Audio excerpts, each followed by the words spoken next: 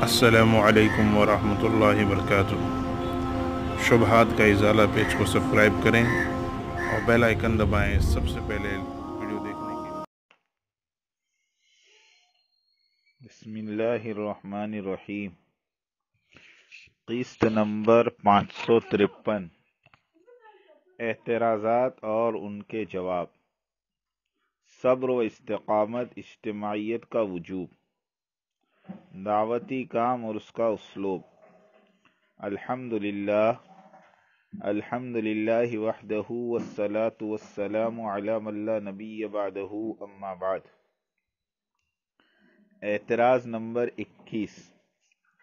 آیات جہاد کو دعوت پر فٹ کرتے ہیں۔ جواب نمبر اکیس۔ یا ایوہ الذین آمنوا اصبروا وصابروا ورابطوا واتقوا اللہ لعلکم تفلحون۔ اے ایمان والو، ثابت قدم رہو، ایک دوسرے کو تھامے رکھو۔ اور نبر و آزمائی کے لیے تیار رہو تاکہ تم مراد کو پہنچو۔ صبر کرو یعنی طاعت کے اختیار میں اور شہوات و لذات کے ترک کرنے میں۔ جاہ اور مال اور چاہ کے نہ ملنے پر اپنے نفس کو مضبوط اور ثابت قدم رکھو۔ صابرو کے معنی ناگوار اور نامساعد حالات میں ڈٹے رہنا ہے۔ یہ صبر کی سخت ترین صورت ہے۔ اس لیے اسے علیحدہ بیان فرمایا۔ رابطو محاذ آرائی کے لیے پڑاؤ ڈالنا اسے ربات بھی کہتے ہیں۔ احادیث میں اس کی بڑی فضیلت آئی ہے۔ اللہ کے راستے میں ایک دن کا پڑاؤ ڈالنا دنیا اور دنیا میں جو کچھ ہے اس سے بہتر ہے۔ دنیا میں جتنی چیزیں ہیں، مال اور اسباب کے ساتھ ساتھ اعمال بھی شامل ہو گئے ہیں۔ یعنی اللہ کے راستے میں ایک دن کا پڑاؤ اور اس کا اجر و ثواب۔ دنیا بھر کی چیزوں۔ بنسبت مال اور بنسبت اعمال سب سے عظیم اور اعلیٰ ہیں۔ علاوہ ازیں حدیث میں مکارہ یعنی ناگواری کے حالات میں مکمل وضو کرنے، مسجدوں کو دور سے چل کر جانے اور نماز کے بعد دوسری نماز کے انتظار میں بیٹھے رہنے کو بھی ربات کہا گیا ہے۔ صحیح مسلم کتاب التحارہ یہاں اس مذکورہ بالا حدیث میں ربات کی تشریح کی گئی ہے۔ اور ربات میں سرد موسم میں مکمل وضو کرنا، دور مسجدوں تک چل کر جانا، ایک نماز سے دوسری نماز تک انتظار کرتے بیٹھنا، یہ سب ربات میں شامل ہے ان تینوں اعمال میں تو بظاہر کوئی ربات والی یعنی پڑھاؤ ڈالنا، پہرا دینا، ساتھیوں کی جان اور مال کی نگرانی کرنے کی بظاہر کوئی واضح شکل نظر نہیں آتی۔ مگر شریعت متحرہ نے ان اعمال کو ربات قرار دیا ہے جو حق ہے، اور جو ان اعمال کو ربات نہ مانے وہ بدعقیدہ اور منکر حدیث ہیں۔ لیکن تبلیغی خروج میں ہر لمحہ ربات کی عملی شکل سامنے رہتی ہے۔ امور دعوت تین ہیں، اول دعوت، دوم جزیہ جزیہ، اور تیسرے نبر و آزمائی۔ یہ تینوں چیزیں ایک ہی شاخ کے تین پھول ہیں، ان کا اجر بھی ایک ہے، ان کے مسائل بھی ایک ہے ان کا طریقہ کار بھی ایک اور منسوس ہیں۔ خیر القرون کے زمانے والوں نے ان تینوں کاموں کو ایک دوسرے سے کبھی جدا نہیں کیا۔ یہ تینوں کام ایک مکمل ضابطۂ دعوت دے رہے ہیں۔ اول دعوت دی جائے گی، دوسرے نمبر پر جزیہ لیا جائے گا، تیسرے نمبر پر نبر و آزمائی مسئلہ دعوت ساری دنیا کے لوگ سن رہے ہیں، قبول کر رہے ہیں، تو جزیے والی بات پر عمل کی گنجائش نہیں۔ اگر لوگ اسلام قبول نہیں کرتے لیکن جزیہ دینے پر راضی ہیں، تو پھر نبر و آزمائی کی گنجائش نہیں۔ اگر قبول اسلام اور جزیہ دونوں کے انکاری ہوں، تو پھر نبر و آزمائی کی گنجائش ہے۔ مگر وہ بھی مملکت اسلامی پر ضروری ہے، نہ کہ عوام پر۔ موجودہ دور کی ایجاد کردہ اختراع اور بدعت۔ موجودہ دور کے تبلیغ دشمن محرکین نے دو مضموم کوششیں کی ہیں۔ ایک کوشش تو یہ کی کہ تبلیغ اور تعلیمی اداروں کے درمیان عداوت پیدا کریں۔ جس کا ثبوت یہ رہا کہ امیر تبلیغی جماعت مولانا سعد صاحب کے خلاف تعلیمی ادارے دارالعلوم سے فتوے جاری کرائے گئے۔ اور دوسری کوشش یہ کی گئی کہ تبلیغ کے خلاف علماء سے تقاریر کروائی گئی، جس میں بیجا اعتراضات کروائے گئے تاکہ عوام اور خواص دونوں طبقے تبلیغ اور مرکز تبلیغ اور ان کے امیر سے بدزن ہو کر رہ جائیں۔ اعتراض نمبر بائیس۔ تبلیغ سے بغض رکھنے والوں کا دوسرا اعتراض یہ رہتا ہے کہ دعوت و تبلیغ غیر مسلموں میں کی جاتی ہے، مسلمانوں میں نہیں۔ جواب دعوت و تبلیغ مسلمانوں میں کی جائے گی اور کی جانی چاہیے نبیوں نے مسلمانوں میں دعوتی محنت کی ہے۔ بنی اسرائیل اپنے وقت کے مسلمان تھے، اللہ کو مانتے تھے، نبیوں کی اولاد تھے، اہل کتاب تھے۔ ان میں ہزاروں انبیاء بھیجے گئے تاکہ ان پر تبلیغ کی جائے، اس لیے کہ ان کے عقائد اور اعمال بدل گئے تھے اور خراب ہو چکے تھے۔ بہرحال آج کے مسلمانوں کا ہے کہ عقیدے میں شرک اور کمیونزم داخل ہو گیا۔ اور اعمال میں بدعت وغیرہ داخل ہو گئی۔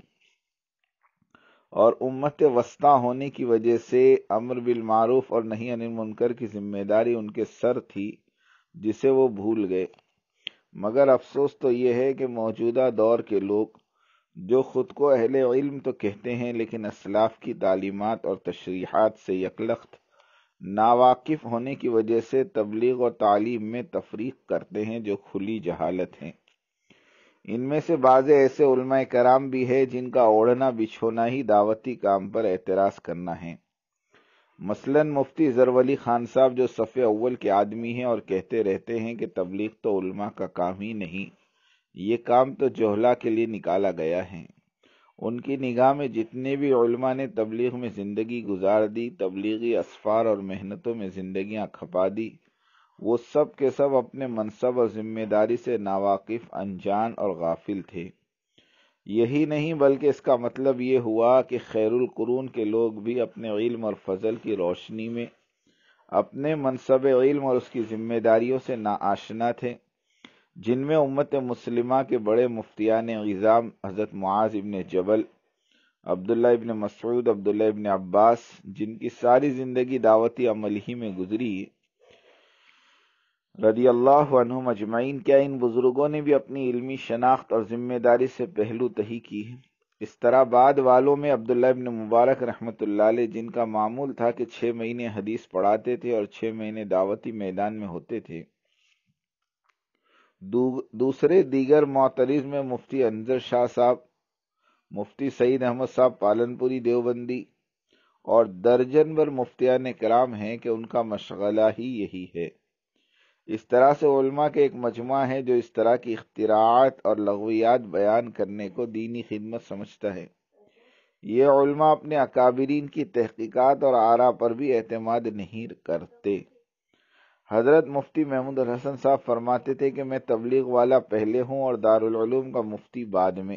نور اللہ مرکدہ حضرت قاری طیب صاحب تو فرماتے تھے کہ میں قرآن کی ہر آیت سے دعوت و تبلیغ کے کام کو ثابت کر سکتا ہوں۔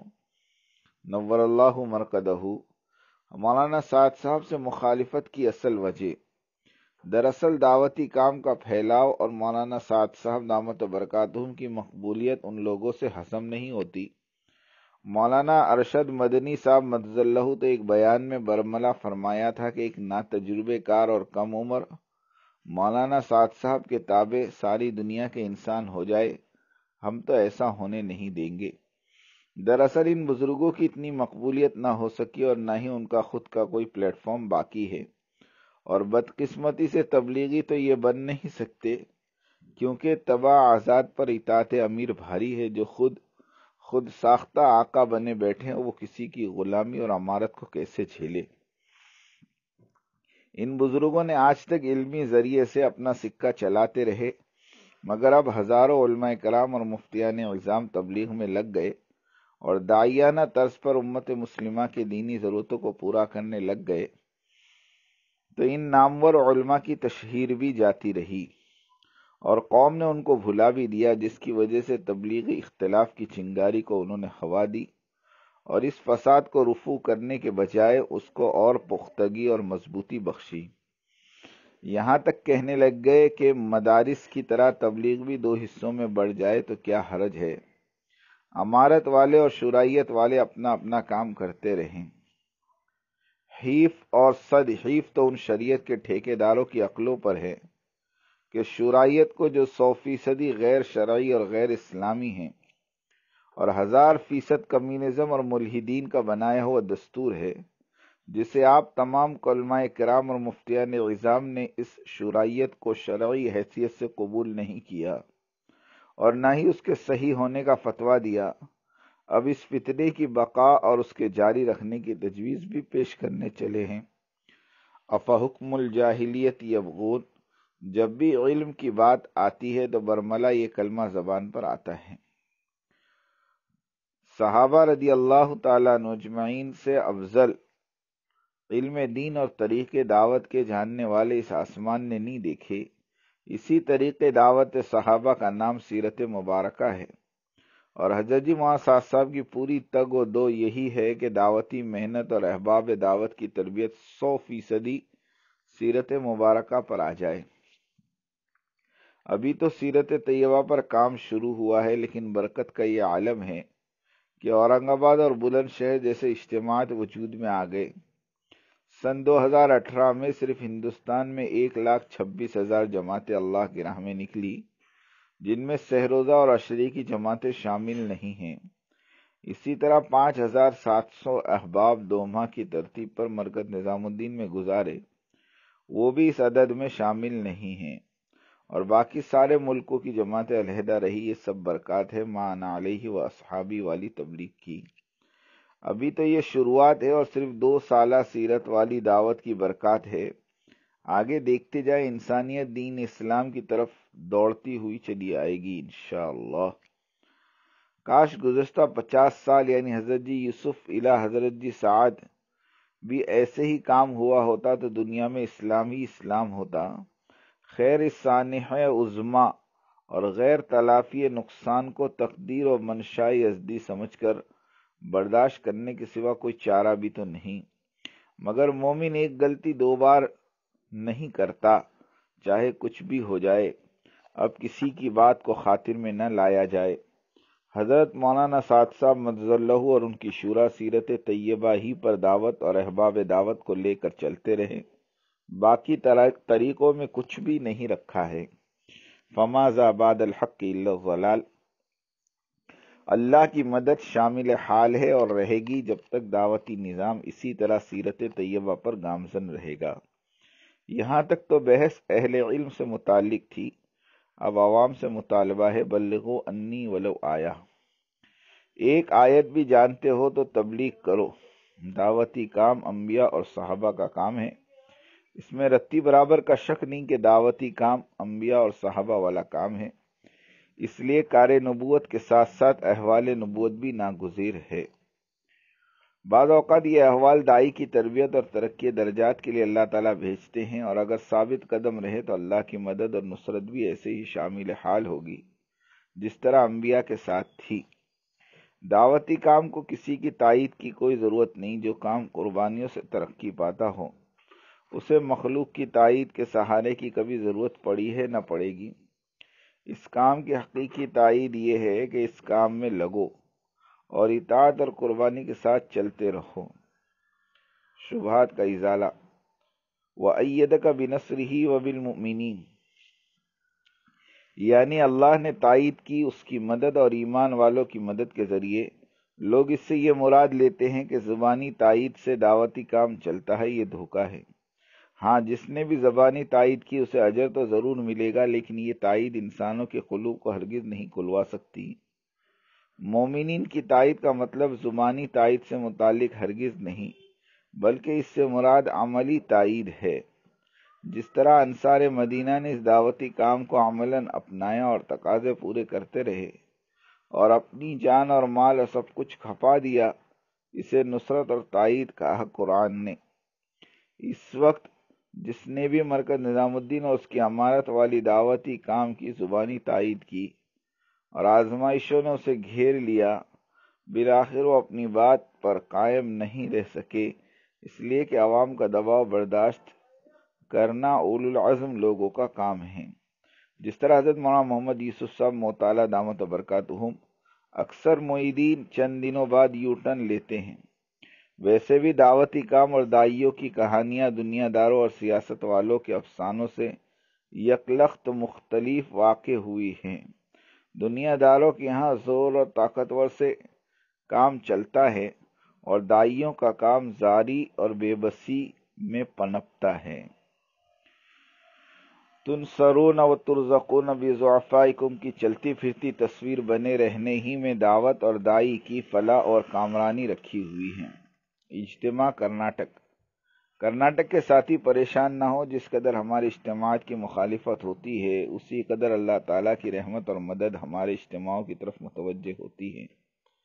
تامل ناڈو کے اجتماع میں بہتی ندی کے پانی سے بہت محروم کرنے کی فاروق بھائی بنگلوری نے کوشش کی، تاکہ پانی نہ ملنے سے اجتماع درہم برہم ہو جائے، لیکن ناکام ہوئے۔ حکومت نے کہا کہ ندی کا تو کوئی مالک ہی نہیں ہم کیسے منع کر سکتے ہیں؟ اگر اب کرناٹک کے اجتماع میں رکاوٹ ڈالنے کی بھرپور کوشش کر لی، اللہ نے یہاں بھی مدد فرمائی، فاروق بنگلوری کی کوششیں بری طرح سے ناکام ہوئی۔ بنگلور میں شرائیت کو مرکز میں علماء کرام کا جوڑ رکھا، ناکام ہوا، گنتی کے علماء جمع ہوئے۔ فاروق بھائی بنگلوری کا تبرہ اور نوحہ شروع ہوا، علماء اٹھ کھڑے ہوئے۔ اور دعا سے پہلے ہی نکل گئے اور کہا کہ غیبت، بہتان، تبرہ سننے کے لیے ہمیں بلوایا گیا۔